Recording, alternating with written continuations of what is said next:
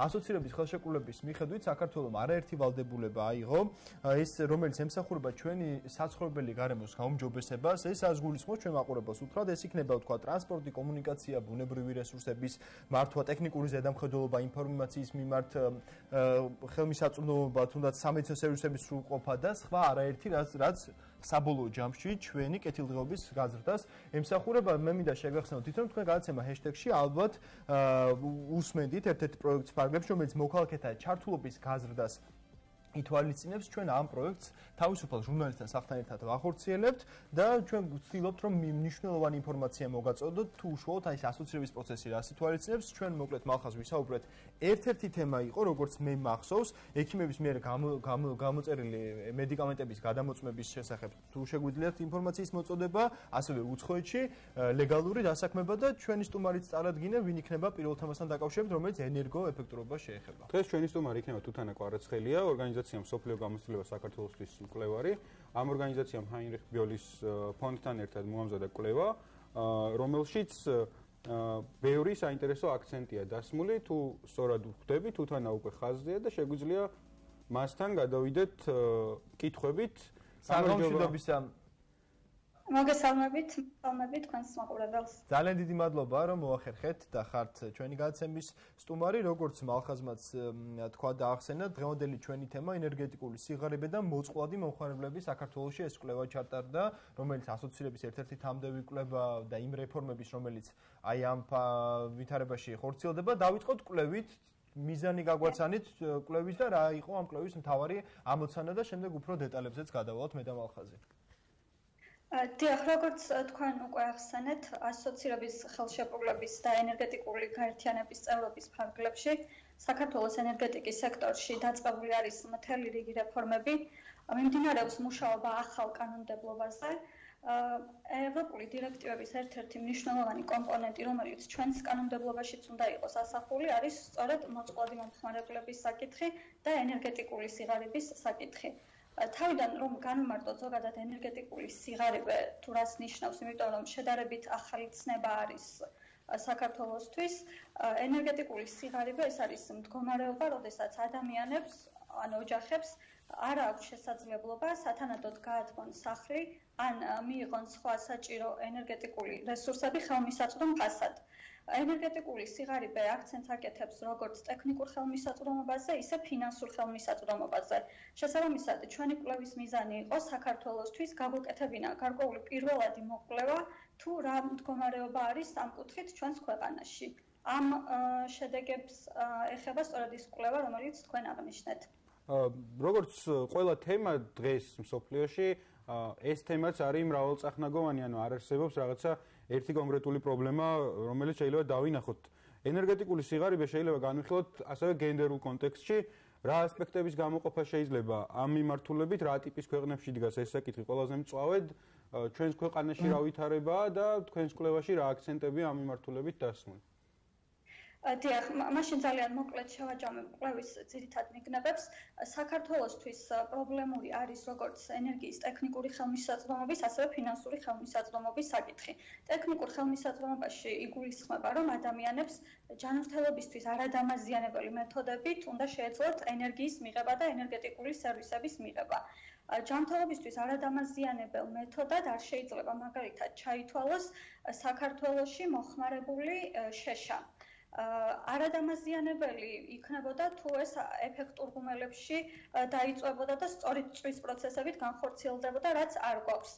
სტატისტიკური მონაცემი არის ესეთი, რომ დაახლოებით 55% მოსახლეობის გასათბობად, ასევე საკვების მოსამზადებლად იყენებს შეშას.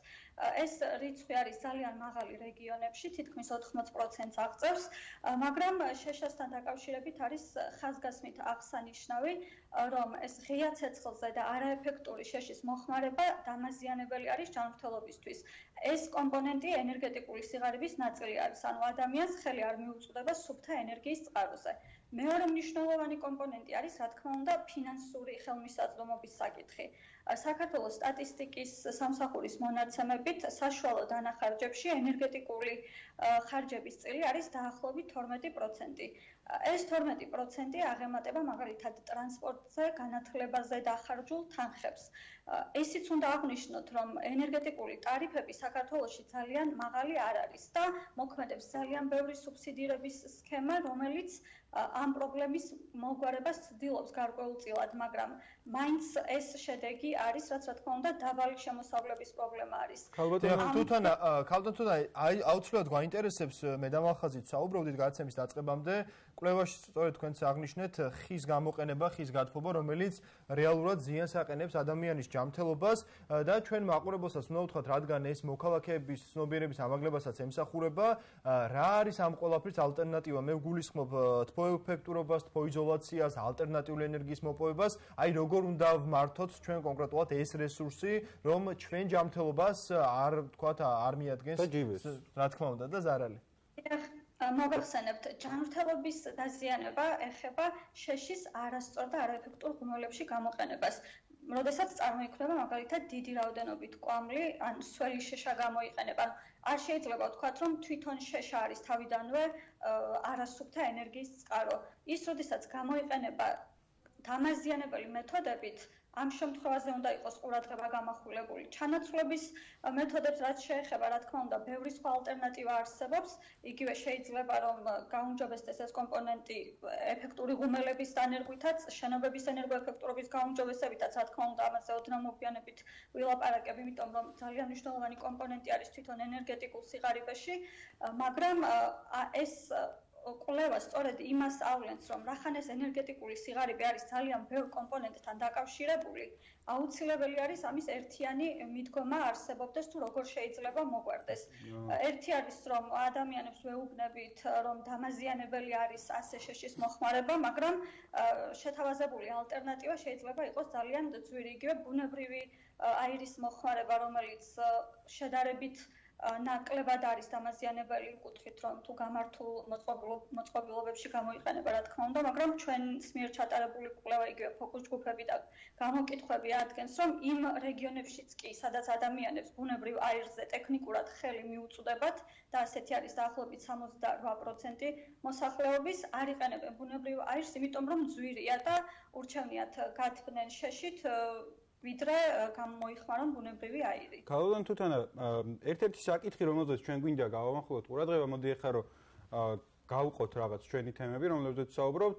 ერთი რა არის სახელმწიფოს გასაკეთებელი, მეორე რა არის მოქალაქის გასაკეთებელი, იმიტომ რომ თქვენ როგორც მკვლევარი ამ საკითხის ალბათ გამოსავალსაც ეძებთ ამ პრობლემიდან. მე მახსოვს მაგალითად ერთ-ერთი საარჩევნო კამპანიის დროს ერთ-ერთი კანდიდატი საუბრობდა სახლების შეფუთვაზე თბილისში, დედაქალაქში, რაც იქნებოდა მოქალაქეებისთვის ხარჯების დაზოგვაც მათ შორის და ამავდროულად რაღაც ეკოლოგიასაც წაადგებოდა შეიძლება ითქვას. ან მსგავსი ღონისძიებები და სხვააღონისძიებები შეიძლება გაატაროს სახელმწიფომ იმისთვის, რომ ეს პრობლემა, რომელიც დღის წესრიგში თქვენც დასვით მათ შორის, რაღაცნაირად აღმოიფხვრას და შემცირდეს. დიახ, თქვენ სწორად აღნიშნეთ, რომ შენობების ენერგოეფექტურობა არის ძალიან მნიშვნელოვანი კომპონენტი, იმიტომ რომ არა ენერგოეფექტური შენობა განაპირობებს ენერგიის ფლანგოს, რაც მოქმედებს როგორც ენერგეტიკული გადასახდელების ზრდაზე, ისე პირადი კომფორტის კლებაზე და ჩვენს კლებაში ეწერა კიდეც, რომ მოსახლეობის დიდი ნაწილი სრულად ვერ ათბობს სახლს და დაახლოებით ერთ ოთახს ათბობენ. რა თქმა უნდა, ენერგოეფექტურობის ღონისძიებების გატარება არის ძალიან მნიშვნელოვანი. ადრე იყო მაგალითად ენერგო ენერგოეფექტური კრედიტები გაიცემოდა. ეს შეიძლება იყოს ერთ-ერთი მექანიზმი, რომ მაგალითად IAF-ის სესხი გაიცეს, მაგრამ ამ ყველაფერს რა თქმა უნდა სჭირდება სწორედ მოსახლეობის ინფორმირება ჯერ ერთი, რომ ესეთი ღონისძიებებით შესაძლებელი არის ამ პრობლემის მოგვარება. და საინფორმაციო კამპანია არის ძალიან მნიშვნელოვანი, იმიტომ რომ ადამიანს შეიძლება ჰქონდეს იმის ფინანსური შესაძლებლობა, რომ დაათბუნოს სახლი ან გაატაროს სხვა ზომები, მაგრამ უბრალოდ ინფორმაციაზე არ მიუწვდებოდეს ხელი. და ქაუდან თუთან საინტერესო ასევე ისიც რომ ახაზმა როგორც თქვა ერთია სახელმწიფო რადგან ეს ევროკავშირთან ასოცირების ფარგლებში თქვა გასატარებელი რეფორმების ერთ-ერთი შემადგენელი ნაწილია რა ხდება თავად ევროპაში? იქაური კანონმდებლობა როგორ იცავს ევროპის მოქალაქეებს და საინტერესოა რა ნაბიჯები გადაიდგმება? იქ და რისი გადმოღება შეგვიძლია ჩვენ როგორც სახელმწიფოს დიახ, როგორც მოგეხსენებათ, ევროკავშირში ენერგიის ტექნიკური ხელმისაწვდომობა არის შედარებით ნაკლები, ანუ რასაც ჩვენ ვლაპარაკობთ, რომ ადამიანები ადამიანებს არ აქვთ ხელმისაწვდომობა ელექტროენერგიაზე ან გაზზე, ან იყენებენ შეშას არაეფექტურ ღუმელებში. ეს პრობლემა იქ არ დგას, მაგრამ იქ დგას ფინანსური ხელმისაწვდომობის პრობლემა, რა თქმა უნდა, ადამიანებს იქაც უჭირთ ენერგეტიკული გადასახდელების გადახდა. მოგეხსენებათ, ენერგეტიკული ტარიფები უფრო მაღალი არის ვიდრე საქართველოში. თვითონ ევროკავშირი აღიარებს, რომ ენერგეტიკული სიღარიბე არის მისთვის მნიშვნელოვანი პრობლემა და ამბობს, რომ ეს არის შედარებით ახალი კონცეფცია მათთვისაც. ერთიან განმარტებაზეც კი არ არიან ჩამოყალიბებულები, მაგრამ ეუბნებიან ქვეყნებს, რომ ერთიანი განმარტების არარსებობა არ უნდა იყოს იმის მიზეზი, რომ სახელმწიფო თვითონ არ გაატაროს ღონისძიებები ენერგეტიკული სიღარიბის აღმოსაφხვრად.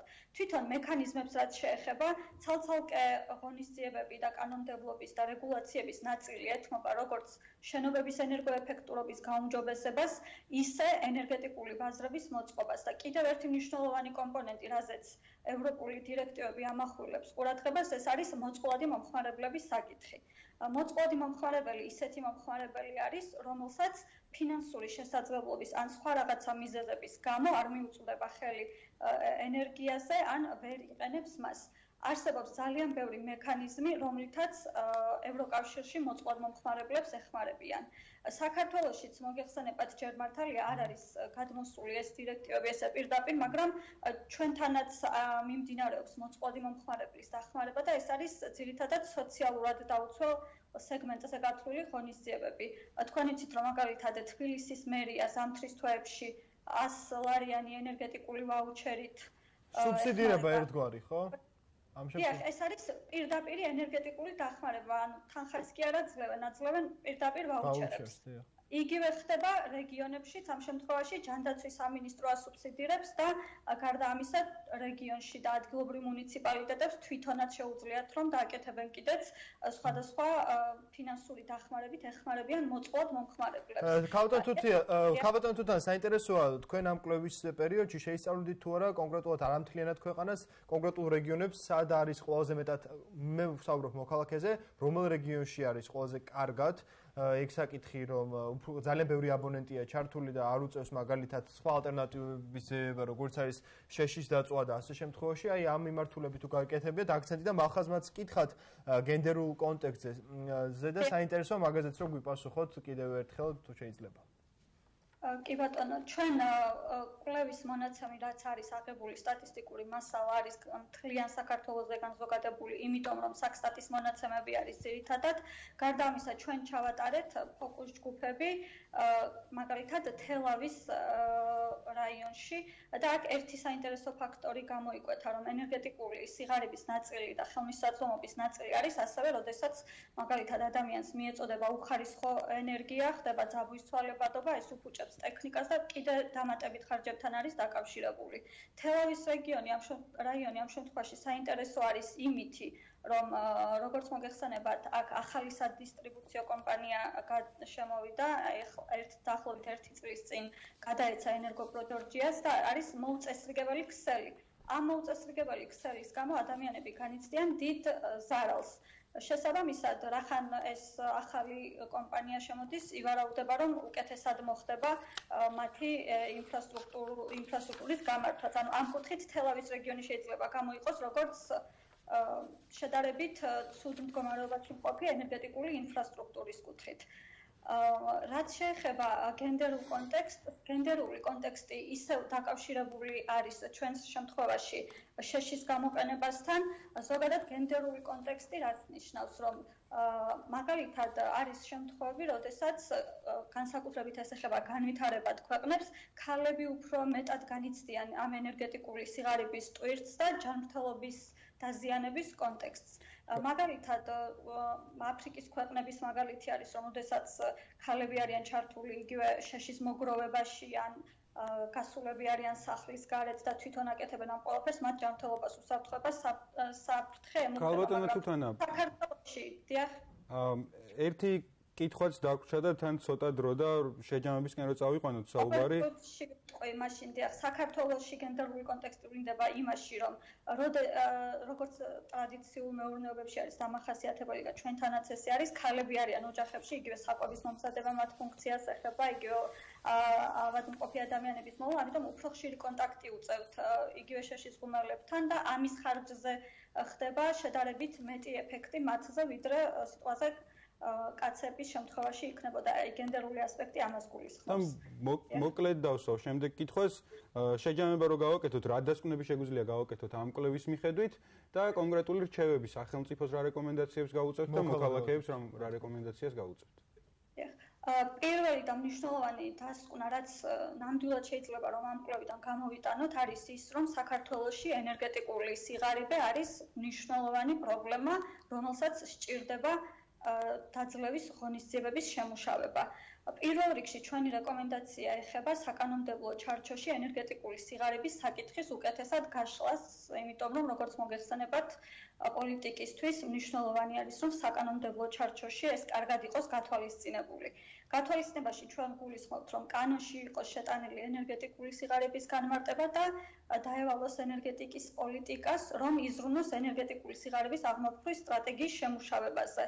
დანარჩენი უკვე რა თქმა უნდა არის ცალკეული რეკომენდაციები რომლებიც ეხება ინდიკატორების შემუშავებას თუ როგორ უნდა მოხდეს შემდგომი კვლევები, რა დახმარების ღონისძიებები უნდა იყოს გაწეული, ვინ უნდა მონაწილეობდეს ამ პროცესში და ასე შემდეგ, მაგრამ ერთ-ერთი მნიშვნელოვანი კომპონენტი არის ასევე რომ მოსახლეობის ინფორმირება მოხდეს ამ პრობლემის არსებობის შესახებ. ძალიან დიდი მადლობა გავდა თუთანა. თუთანა კვარაცხელი ორგანიზაციის მსოფლიო გამოცდილება საქართველოსთვის კვლევარი იყო. ჩვენი გადაცემის სტუმარი ჩვენ წარმატებებს გისურვებთ. თქვენ და იმედია ამ კვლევის მიგნებები რეალურად განხორციელდება ჩვენ ყოველდღიურობაში